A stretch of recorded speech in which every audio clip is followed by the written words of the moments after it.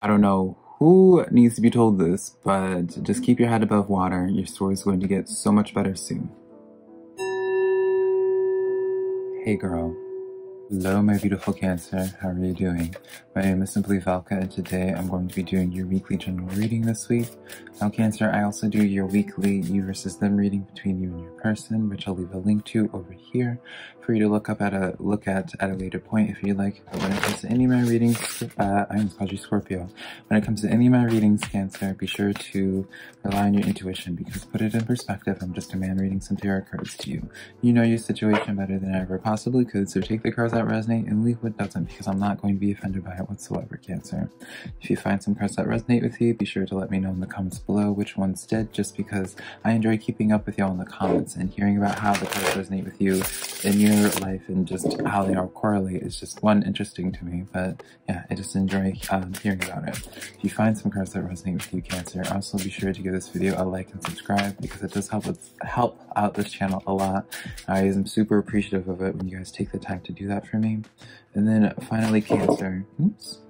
Uh, over here. I apologize, I'm pulling some cards for you. Uh, this reading's here just to give you some perspective. I'm not here to make a decision in your life. Ultimately, it's your life to live, not mine. The decision is yours to make. So with all that being said, Cancer, let's start getting into your reading. I pulled uh, two tarot cards for you, as well as an Oracle Moon card. And your Oracle Moon card, you, if any of you Cancers noticed, I was smiling earlier while I was doing the intro. And it's because of this, new moon in Cancer. It's your new moon, uh, Cancer. So for, the, for this to be your overall energy, it, this is really go like you're stepping into a new phase uh, cancer. You, um, and I kind of feel like it's all encompassing, right? We just had this for in regards to like your career cancer. Then I'd be like, okay, like maybe you're going into a new job, right?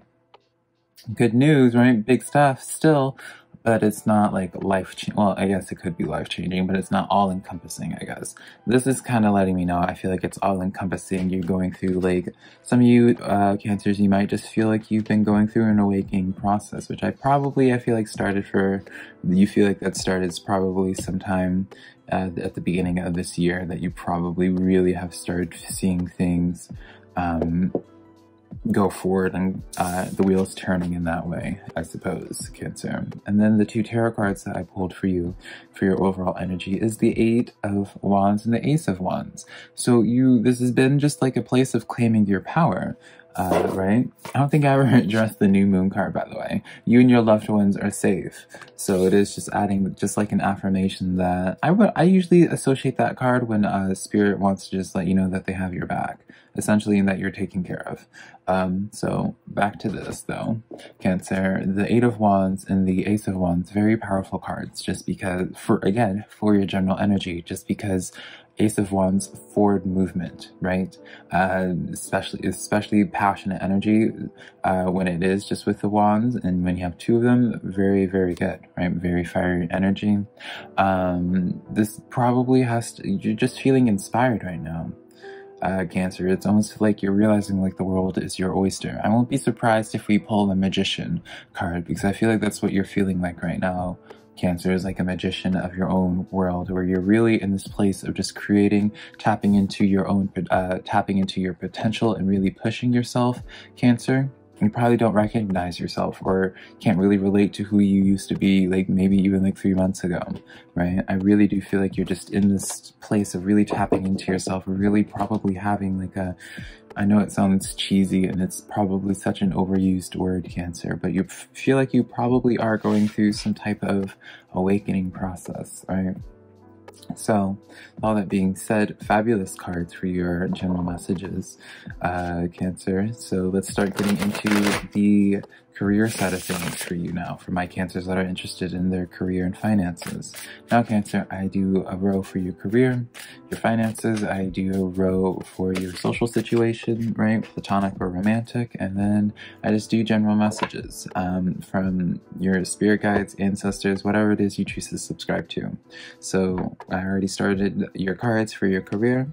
Uh, we have two uh, pentacles for you, Cancer. So and this makes sense. You're going through this awakening process. You're tapping into um, realizing more of your own potential. uh, Cancer. And probably because of this, it's you're left with the question of do you want to continue doing the same thing that you've been doing, right? Or do you want to go into something new? Um, even in regards to the workplace, you probably are being put up with this position of maybe it's a weird message, but I just feel like maybe for some of you cancers, this need to stand up for yourself. Um, and just like you're probably tossing around the idea of just being like speaking up almost in some sense because the two of pentacles is a representation of like a dealing with some chaos in your life as well so i don't see this as a bad thing i feel like there's just like um I'll tell you, so I'll like tell a quick thing about myself, Cancer. Whenever I first took the leap of faith to really just make tarot, like make a living off of tarot for full time and like quit my old job, I never would have done it if my life and my career at my workplace wasn't making me extremely uncomfortable. And it happened in a rapid progression where it's just like all my friends who I worked with in the night shift um, were either transitioning and so on. Like a lot of shifts were just happening, a lot of changes at work were happening, a lot of chaos was happening in the workplace that I took that as a sign from spirit trying to push me away, push me into a new direction. I feel like it's probably like the same thing for you, Cancer. I apologize for making it about myself, but I always speak in examples and I feel like I can relate to this energy, and so I wanted to use myself as the example.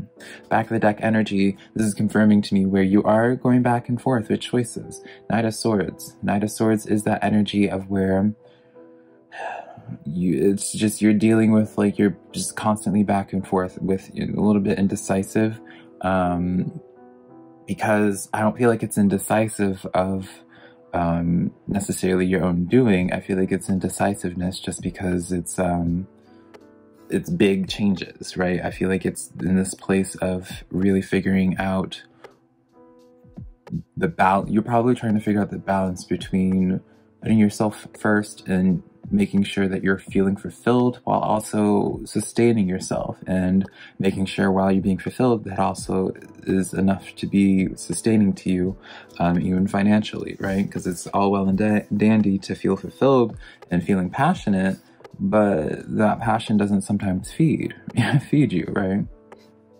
Uh, the cards the clarifiers that i pulled for you for your Two of Pentacles Cancer. We have the Seven of Swords. So all your cards dealing with chaos. I, I, I enjoy it as a tarot reader, Cancer, when I see these two cards paired together because I kind of see them kind of in the same. Two of Pentacles lets me know of the chaos and juggling with things um, in the physical because of the Pentacles deals with like physical energy, stuff that's already kind of around you in your physical environment uh, Cancer. And then the Seven of Swords is usually matters with the mind, right? I use this as where it's just like, it's like trying to make only one trip from the car to the house with your groceries. So you try to take all the groceries that you can at once, Cancer, to try to make one trip. And it's just like, it's a mess. Like the carrots are falling out, like stuff is just falling out everywhere, um, right? And it's just, that's like the comparison I could have for what's going on in your head, right? With probably what decision to make. You're probably really overthinking it. Well, I don't want to say overthinking it, but really thinking hard in the situation. Confirming that to me with the Hermit card. Right? You are in this place of really deep thought, self uh, reflection of what it is that you want to continue doing on uh, doing with your life. It almost probably feels like uh, Cancer, you're at a crossroads in your life, um, probably by your own doing. I feel in some cases some cases. Other cases there probably is like in a sense of where it's just like do you want to continue dealing with the chaos that's been happening in the workplace? Or do you want to um, wash your hands clean and just go into something else entirely different right? And that's just like the decision. It's just like where do you go right? You're this you're right now as the fool and it's like you're trying to figure out your relationship with the fool. You're trying to see if you want to embrace this full energy or not. And I'm not here to tell you what you should do, but I think there's a reason as to why the fool came forward. Now, full disclosure, Cancer, I am completely biased just because the fool is the fav my favorite card in the deck by far right? It's the card that I resonate with the most. So I'm always going to suggest that to you. Back of the deck energy for this uh, deck is the Hanged Man as well. So I am going to say usually the Hanged Man moment is they look like the fool to anybody else, right? They commit. It's kind of like committing to a decision in hopes to have a change of perspective that gives you that sun, which she, you see in this imagery, Cancer, she accomplishes. So just leave it like that. Also, Empress card as well. You know, I'm gonna leave it though. We're gonna close off that row. Feel like you kind of got the point, Cancer, so I'm not going to hone in on it too much more for you and be too much of an annoyance. So let's get into your social interactions for this week, Cancer. Let's see what's going on there. Let's see. Two of Cups. So positive, positive with the Four Pentacles. So you probably are in this place of where it's just like something's clicking or there's like a connection made. There may be some sparks, right? Where it's just like, oh, this is good. This is a comfortable connection, right? But there's still like this Four of Pentacles energy where it's just like still kind of holding out a little bit. You're still a little bit probably on guard, or I don't want to say on guard, Cancer, but probably just a, in this probably place of indecisiveness as well, where it's just like, okay, is this person going to is this person going to hurt me? Something that came to mind. Is this person worth putting, investing your energy into, investing your pentacles into, right? So, uh, let's see. Let's pull some cards on that, Cancer. Let's see, uh, how this person feels.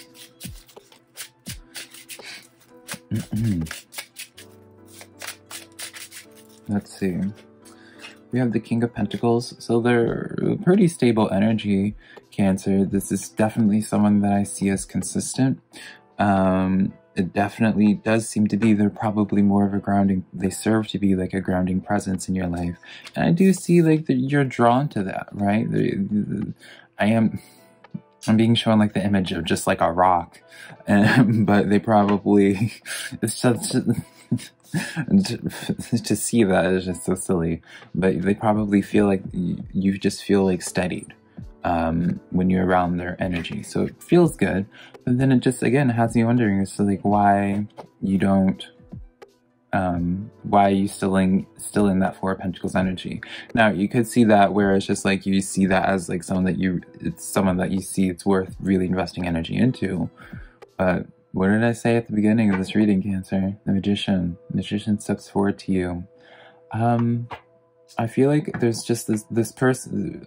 I feel like there's just like this person, um, and I do feel inclined to say, and I know this probably sounds like a cop out, Cancer. Um, whether they're in your life right now or not, it does feel like a a person comes into your life that really changes your perspective on things, that kind of um, inspires you and motivates you in a beautiful way. I feel like it's someone that just really feel like it's kind of like finding your person, Cancer. I feel like someone you just match with someone from a very deep soul level, right? Someone that matches your energy, right? Six of Pentacles, someone that is able to give that equal give and take, be just a very consistent, stable presence in your life. And if you don't have that now, I definitely see that coming and manifesting in your life soon. Because with that magician card as well, I see I see you, Cancer, putting in a conscious effort and trying to manifest that. And if they're not in your life quite yet, Temperance card, back of the deck energy. Can we just appreciate how many major arcana are coming out for you, Cancer? Temperance card is talking about that balance.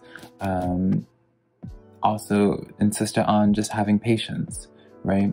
So if, it, if this person isn't in your life right now, they're coming very soon. Don't be impatient, right, Cancer? But even when it comes to this connection, there's if there is someone in your life that you have this in mind for, Cancer, I would say that um, before you just make a decision, you know, I guess it does make sense. You know what you're doing, right, with that Four of Pentacles, because it is saying, like, with Spirit saying patience, it's like you, you're, you already are practicing patience if, if it's someone that you already know. So you, you know what you're doing in that way.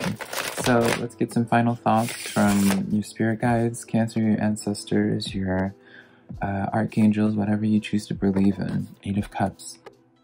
So walking away, going to bigger and better waters or wanting to and having this urge to. But where are you wanting to move on from? What is the uh, place that you're transitioning from in the first place, Cancer? Let's see.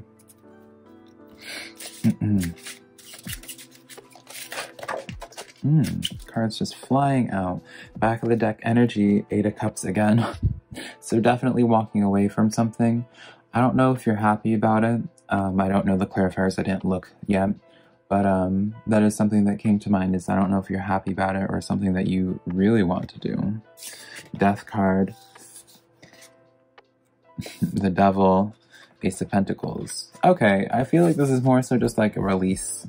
Um, moving on from I don't usually like to use the word toxic energy just because it's such an overused word. But I feel like you're just moving on, transitioning on from an energy that was is no longer serving you. Now this could be in terms of a person, right? But I feel like for some of you, it's just in regards cancer to um, just like even like your own relationship and your own habits and behaviors. You're just like because you're in like this awakening process, you're in this process of really um, tapping into your power, your potential, um, you're realizing and you're just kind of just like improving yourself, upgrading yourself. You're getting on better routines, putting yourself on a schedule, Cancer. You're just really in this place of just self development, character building, right? Ace of Pentacles, you're really in this place of creation. Cancer, you're, I don't know what sparked this passion, this motivation, but I love it, Cancer. You're really just taking this world um, into your own hands and just actively creating. And you're not settling for anything but um, beautiful creation in your life. So I celebrate you for that, Cancer. Good job. Uh, but yeah, that's the cards that I have for you for this week, Cancer. If you enjoyed this reading, be sure to give this video a like and subscribe. And then also, Cancer, be sure to share this video with a friend if you think they might be into my messages as well. But until next time, Cancer, I love you so much.